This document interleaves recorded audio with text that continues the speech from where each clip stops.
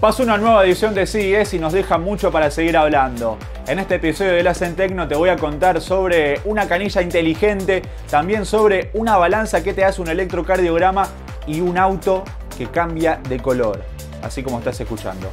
Si te quieres enterar de todo esto, quédate porque así empieza la Tecno. Si tu idea es tener una casa inteligente, no te puede faltar este accesorio.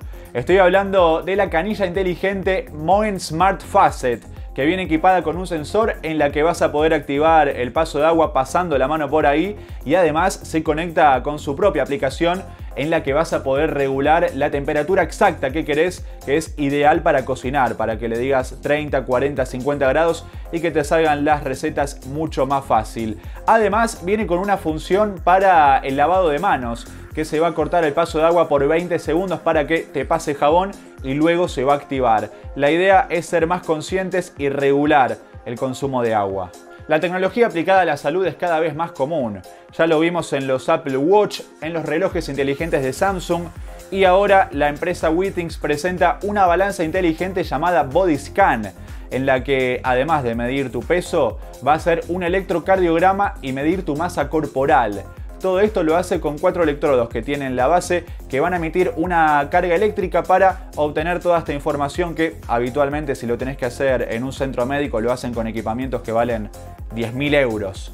Acá nada más por 300 dólares lo vas a poder hacer y va a salir a la venta en la segunda mitad de 2022 en Estados Unidos y en Europa.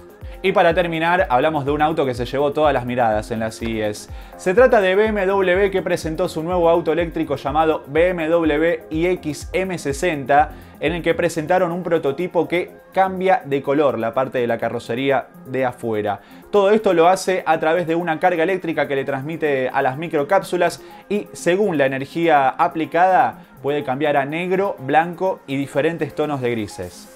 Es el primer modelo con esta característica que es realmente increíble y todavía no hay fecha de producción.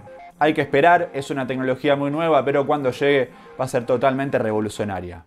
Y hasta acá llegamos con este capítulo de la Cien Tecno con algunos adelantos más de la CES. Si te gustó, no olvides de dejar tu me gusta, de seguir a todas las redes de la 100 porque se viene mucho más de la Cien Tecno. Soy Kevin Alterman y nos vemos la próxima. ¡Chao!